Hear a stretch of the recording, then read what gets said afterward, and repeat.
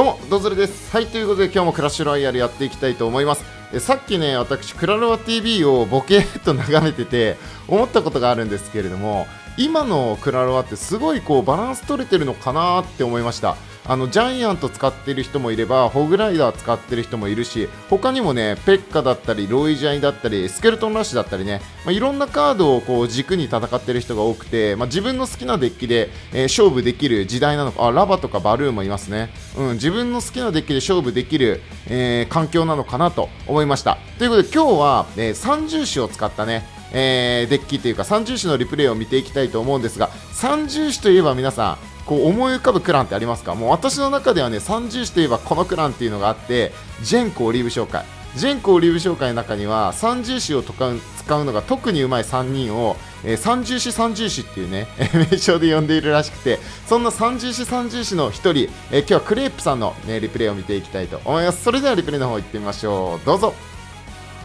あそういえばね、今日あの宣伝をさせていただくと、夜の10時から、えー今日ね、夜の10時から、シュテルンリッター VS カムカムフレンズさんとのね、えークラロワの対抗戦があるので、もしお時間ある方は見に来ていただければなと思います。さあ、それでは見ていきましょう。えージェンコオリブ紹介のクレープさんが、えー今回上ですね。で、下のこの OK テイさん ?OK テイさん？読み方わかんないけど。えーっと、OK テイさんでいいかな？OK テイさんね、なんか世界一のゴーレム使いらしい。え今回はこの OK テイさんね、えーラバラバハンドじゃない、えっと、ロイジャイを使っているので、まあ、ゴーレムちょっとね、世界一らしくて、何が世界一なのかよくわかんないけど、世界一のゴーレム見たかったですけどね。はい、えーということで、今回は世界一のゴーレム使いのロイジャイを使っている OK タイさん VS、えークレープさん見ていきたいと思います。今回ね、OK タイさんはライトニングを持っています。ライトニング所持していて、まあ、三銃士をね、使っている人からすると、相手が一番持っておいてほしくないカードって多分 ライトニングだと思うんですよ。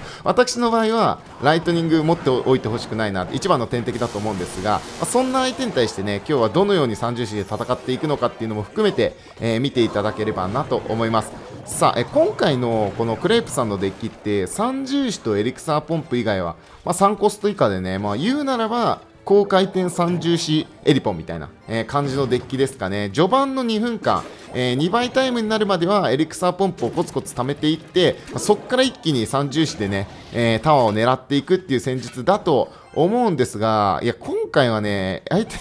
相手、あれですからね、ライトニング持っていて、しかも、ライト、あの、30視以外の、こう、相手にダメージソースっていうんですか、相手のタワーにダメージを与えれるユニットがないので、それも含めるとね、かなりきつい戦いなんじゃないかなと思います。あんまり最近ね、こう、人のリプレイとかを紹介する動画撮ってないので、うん、こういった、なて言うんだろう、やりとりの時どういう、話をしていいのかちょっとよく分かんなくなってるけど よく分かんなくなってるけどあ今のナイトとかうまいですね。多分今ガーゴイル守るためにナイトでねファルチェの、えーっとターゲットを取って、ね、しっかりとファルチェを処理していきました。今みたいなおここですね。ここの三重視も、えーよく見ていただきたいんですけれども相手がね今ロイジャイで左を落とそうとしてますよね。ロイジャイで左を落とそうとしている。であえて三重視を右に出すことによって右に2体出すことによって相手にライトニングを右に使わせるんですよ。でこれね後でなんで相手がライトニング持ってるの分かってるのに三重視出したのかなって聞いてみたところその相手の攻撃以外に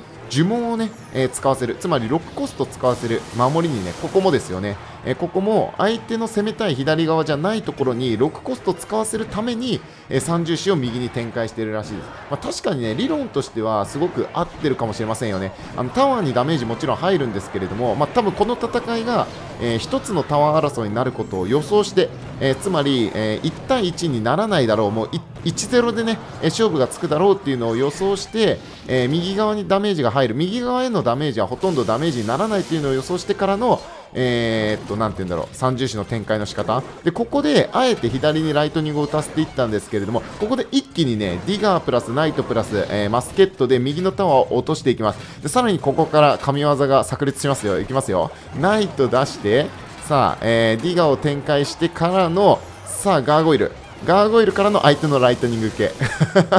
これすごいでしょ。えこれすごいでしょ、本当に。えー、最後はね、ディガーとローリングウッドで落としきりました。はい、ということで、今回はね、クレープさんがすごいリプレイがあるということで、えー、っと、リプレイをね、えー、紹介してくださったんですけれども、まあ、三銃士、この1本の動画だけでも、こう三銃士の戦い方っていうのが、他のデッキとね、え、違うっていうのがすごくわかると思います。あのー、タワーは飾りじゃないですけれども、しっかりと、なんて言うんだろう、えー、今回の戦いにおいては右側のタワーって本当に飾りで、えー、右側のタワーにダメージ与えられても多分決着は左でつくだろうっていうのを予想してね、え、右側にこうエリクサを使わせていったっていう戦術を取っていたと思うので、まあ、こういったね、えハイレベルなやり取りができる戦いっていうのができるようになると、えまたワンランク上の戦い方ができるのかもしれません。ということで、え今日の動画はね、えこんな感じで終わりたいと思います。ちょっと私もですね結構昨日の動画で、えー、どずれエリックさんの使い方ちゃんとしろよみたいなねコメントが多かったので、えしっかりね、えー、練習して、えー、の 頑張っていきたいと思います。ということで、今日の動画はこんな感じでまた次の動画でお会いいたしましょう。バイバイ